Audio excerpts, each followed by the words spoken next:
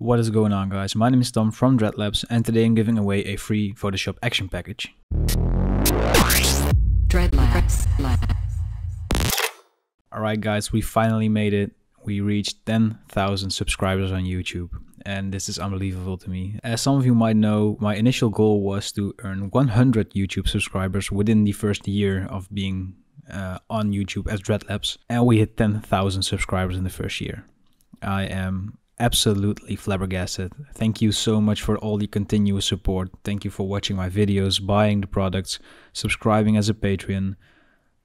Everything, like from the bottom of my heart. This is just completely amazing. Thank you so much. But anyway, we're here to celebrate. So because I reached this number, I want to give away a special product that I've been using in my tutorials for a while. You might have seen them, you might have not seen them, but it's something that really makes me work a lot quicker, and that is Photoshop Actions. And today I want to demonstrate them. So the Dreadlabs 10K package will come with 5 Photoshop actions and 3 displacement maps. And these displacement maps are based on the paper textures from the paper pack. So let's just dive into Photoshop and see what each action does. Okay, so we have it loaded up here. Uh, if you don't know how to uh, use the Photoshop actions, if you go to Window, Actions, this window pops up. And if you click here and you click on Load Actions, you should be able to load in the .atn file that is provided in the Dreadlabs web store for free. Okay, so before we demonstrate, all of these actions are made in a 3000 by 3000 uh, document.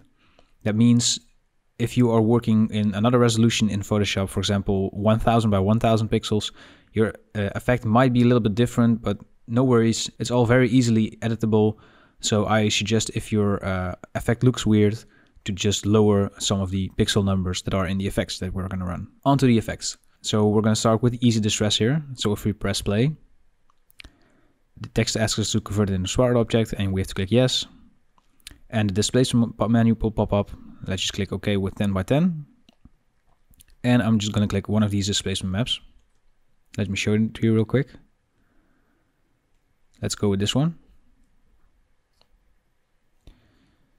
And as you can see, in just a few seconds, we have easily distressed all the text here. And if we want to go back and make this a little bit sharper, we can just double click the box blur and change it to 1 or we can turn off the uh, displacement effect or we can even make it a little bit more heavy. Let's just go with 15 by 15 so yeah that's the easy distress effect. I use this all the time because it just works so quickly and it makes your work look a little bit more realistic. All right let's go on to the next one.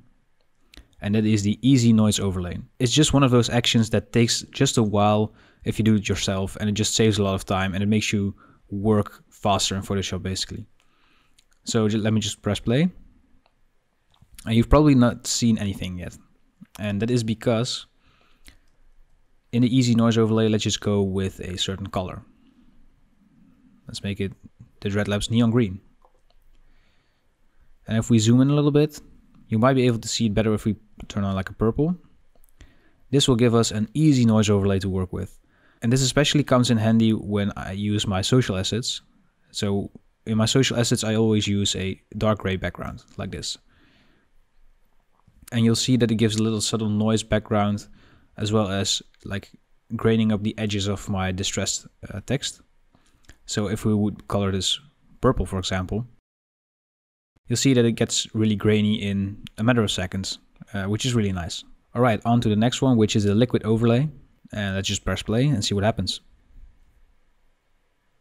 Bam.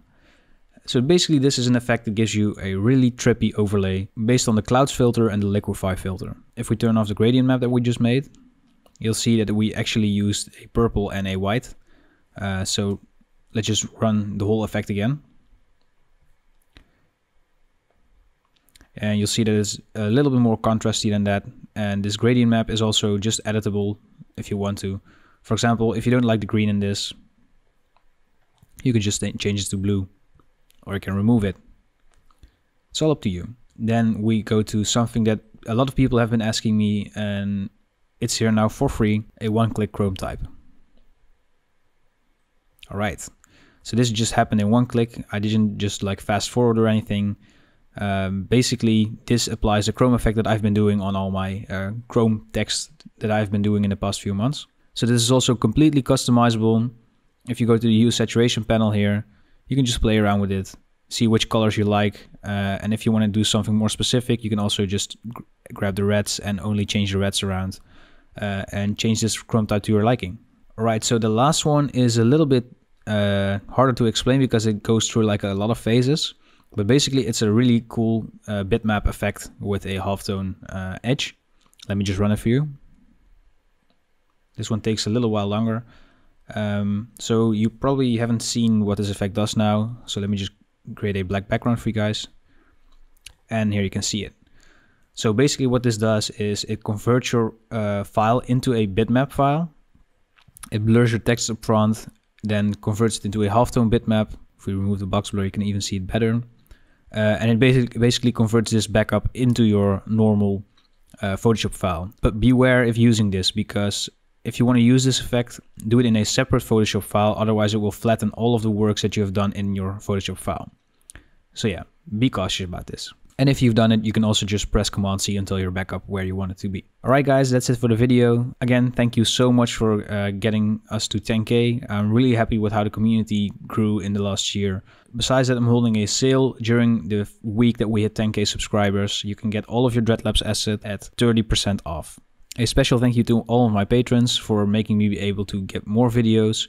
If you don't know, if you become a patron, you'll get access to all of the project files in my tutorials, as well as a 15% discount in the Dreadlabs web store uh, permanently, uh, and you'll also get a Dreadlabs Insider Discord role. If you have any questions, please leave them in the video below. Thank you so much for watching, and I'll see you guys in the next video. Bye.